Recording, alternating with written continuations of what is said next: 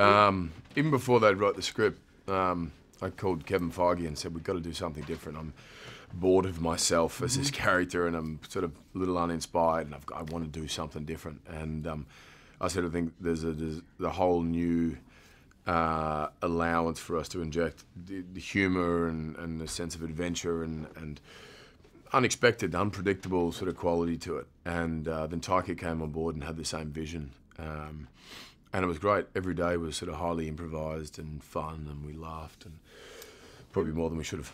Even even on the, the first time you did Thor, when we were kind of first introduced to you, you Mm. know, on a on a big scale, you always had there was always a lightness to him, and this time you really just get to take it a little Mm. Yeah. further, and you, you get to use your comedy, which we've seen, bef- you know, we've seen you do comedy, and it's Mm-hmm. Yeah. it's a hard thing to do, you know, and you, I mean, Yeah, it's just some- you can't teach it. Yeah, it, it, um, I think it's more of me in this character than than previously. You know, I think I sort of built some sort of parameters in which I thought the character should operate within. He spoke like this, he moved like this, and then so with this film, we just sort of threw all that away. It almost felt like I was playing a different character, and it was incredibly liberating and freeing. You know, from an artistic sort of angle, to be able to explore, you know, all these different avenues.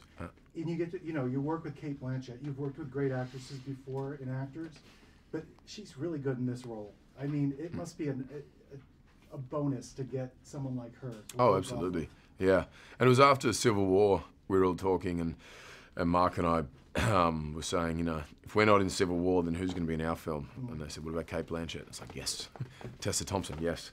Jeff Goldblum, Anthony Hopkins, Idris Elba, Tom Hiddleston, you know. So we had this um, huge lineup of people that I am beyond admire and respect, and, and I think all have the same sort of, mm, you know, renewed sort of sense of what this world could be.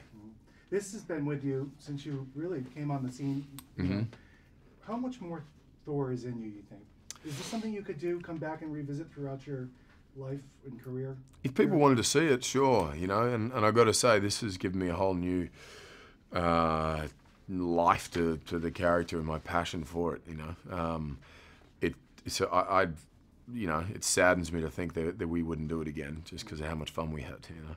And as you go on, you, you get more creative input. Yeah, yeah.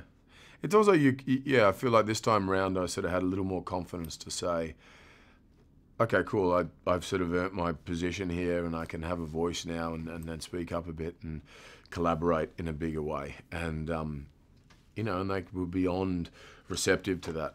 You know, the Marvel guys, and so it was great.